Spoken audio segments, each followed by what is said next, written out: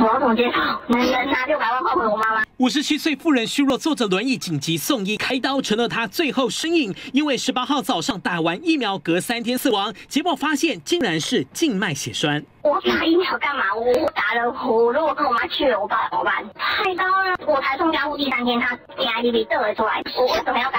我妈就已经这样了，他们要道个歉吧？你们自己的风险，不要什么都是在病人的身上。相验结果出现相同副作用症状血栓，让女儿好激动，再也不相信 A Z 疫苗。我让我妈解剖，我其实不太同意，因为要确认这个原因。